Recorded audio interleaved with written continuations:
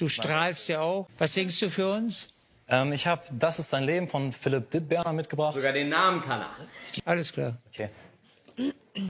Geile Nummer, Bruder. Viele fragen sich ja, von wem der ist.